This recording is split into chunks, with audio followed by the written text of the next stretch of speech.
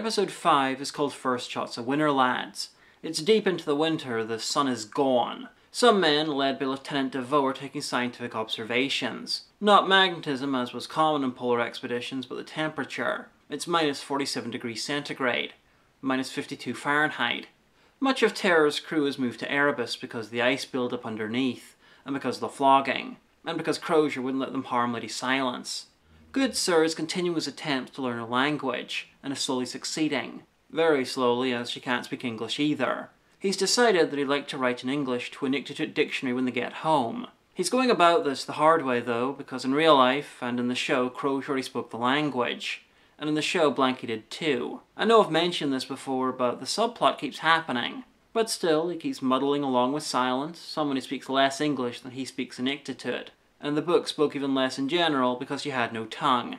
Fitzjames has ordered Silence to be moved back to the Terror, his men have been doubling up for over a month now, and they believe that she's in control of the Tuunbaq. So he wants to be rid of her to minimize the very real chance of trouble. We see Dr. Stanley casually cutting a poor frostbitten man's toes off. Dr. Stanley in the show is stoic and unpleasant, but out of the options available to him, that is by far the kindest thing he can do for him. Apart from the obvious damage caused by frostbite, it was painful. In the Scott South Pole expedition, Captain Oates cut a hole in his sleeping bag and kept his frostbitten foot outside because the frostbite thawing was so painful. Was Stanley really as cruel and dry-witted as he is in the show? We have no idea, but he was much younger, and as you can see in this photograph, that he smiled much more in real life. Fitzjames served with him and described him as good-natured and hard-working, though a bit too keen. Jet black hair, very white hands, which are always abominably clean, and shirt sleeves tucked up, giving one unpleasant ideas that he would not mind cutting one's leg off immediately, if not sooner. Well, Goodsir, his assistant is far less charitable in his writings, saying that he made no effort at work and knows nothing, both about his job and in general. Now for some fun facts about the doctor-surgeon rivalry between Goodsir and Stanley. Stanley is written as an arrogant doctor lording over the surgeon Goodsir. Thing is, neither of them were doctors. Their jobs on ship were Surgeon Stanley and Assistant Surgeon Goodsir. Hilariously, for the characterization of Stanley as a condescending dick, there's probably less reason to call him a doctor than Goodsir. Stanley was a military surgeon, well experienced in practical and battlefield medicine, while Goodsir was from a scientific background, he was the conservator of the Surgeons' Hall Museum in the Royal College of Surgeons in Edinburgh. He was a member of the Royal Medical Society and even co-authored one of the important early books on cell theory. Neither were doctors, but Goodsir was a scientist, and one with a very bright future ahead of him. The last bit of evidence that we have on Stanley is two pieces of wood found in Montreal Island.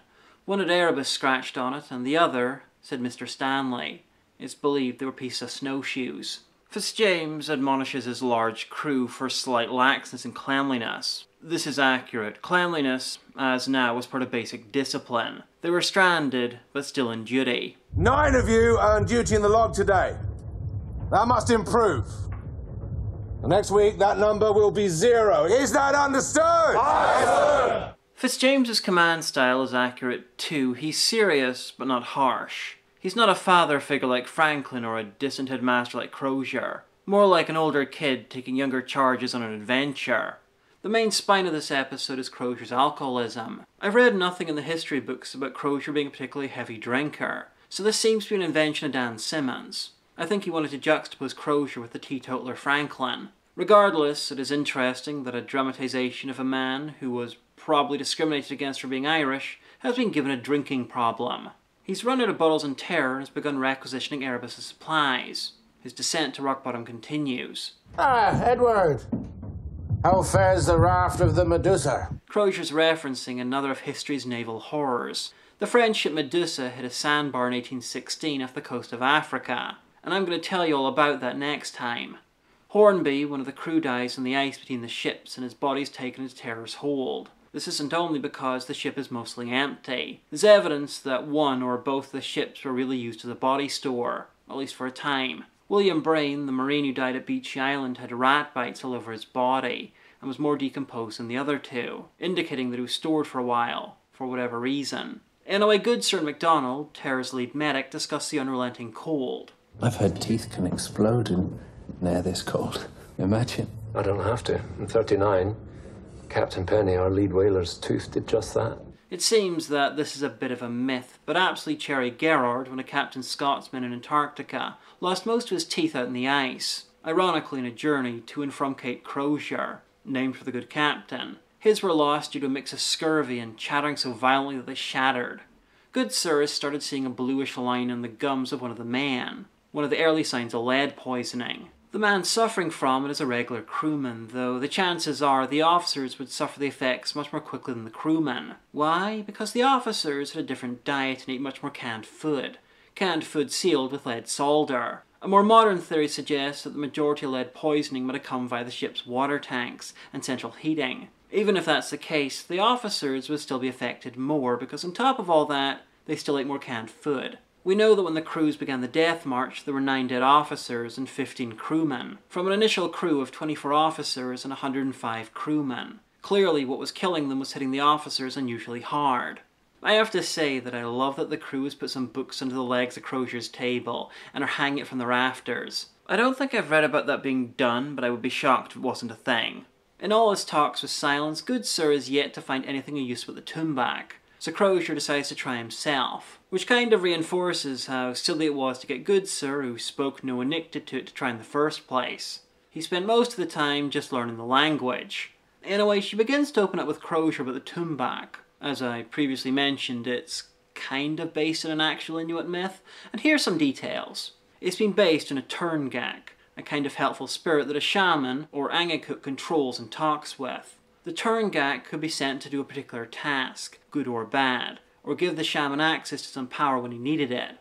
When a Turngak wasn't in use, it was kept by the shaman in the form of a charm that they kept on their body, like the charms that the dead shaman had on him. Essentially, a Turngak was a magical Pokemon. In the novel, the Tuunbaq is a monster created long before by the Inuit goddess Sedna in order to kill the other gods. After a long war, the other gods won, and the Tuunbaq was eventually imprisoned around the north of King William Island, eating the body and or soul of anyone who comes close. Well, anyone except the shaman tasked with sort of controlling it, so it doesn't leave its jail. Kanokli Dukuhaniak Dukhut Tuunbaq. Oh, and in the book, it's just about unkillable.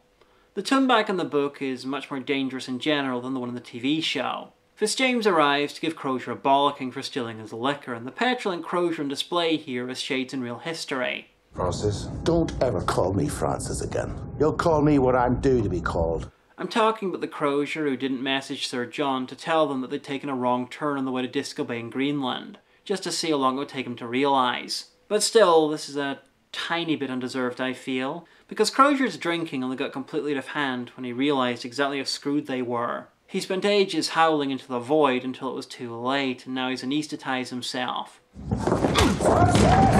Still, he badly needs to snap himself out of it. Blanky tells Crozier to be careful or what happened to John Ross at Fury Beach will happen to him. As I mentioned a few episodes ago, there was a bit of a screaming match and everyone got out okay. Worse than happened to John Ross has been happening for a long time. He angrily sends Blanky out to give him an ice report so he and Fitzjames can have it out just in time for the Tuunbaq to come aboard and begin killing people. Blanky climbs the rigging to turn himself into bait so the others can attack it. Blanky is easily the toughest person in the show, and the novel. He may well have been the toughest person in the real expedition too. He certainly had a very long and cold career in terrible conditions. Regardless, if Voldemort had chosen Blanky instead of Quirrell, Harry Potter wouldn't survive the first film. I don't know if you've noticed, but Blanky's played by Ian Hart who played Quirrell. I know. I was shocked when I found out too. As the show continues to move away from known history, I have less concrete information that I can talk about. But this is pretty much what happens in the book. The Tuunbaq tries to kill Blanky, he loses a leg, and it takes a cannonball to the chest. Crozier blames himself for what happened to Blanky and officially hits rock bottom, giving Blanky the rest of his whiskey before his leg is amputated. I think I made a connection tonight, me and it. Feel like we got engaged and I want to celebrate. I have no idea if the actual Crozier and Blanky were friends. Certainly in the show they go way back, and they served together in real life before Terror, but Crozier's letters from the time indicate that he felt he had no friends on board. Side note about amputation in the Victorian era. Surgeons were considered inferior to doctors and mainly did the practical parts of doctoring, such as amputations. And there was a minor thing between them about speed. Not only because the faster the amputation, the less suffering the poor person has to go through. It was a macho thing. They also wanted to be faster, better than the others, and in one hilarious case, Surgeon Robert Liston was so fast, he managed to remove not only the man's leg, but his testicles by accident. In another, Liston was so fast that he managed to remove his assistant's fingers and didn't realise until it was way too late. The assistant later died of gangrene. You see, the common belief among surgeons at the time was that cleanliness was squeamishness, and the stiffer a surgeon's coat was with dried blood and pus, the better the surgeon. This scene is way too clean. We end with Crozier bringing the officers together to give Fitzjames command of the expedition. He's going very cold turkey. And Goodsir testing for lead in the food by turning Jack the Monkey into a canary.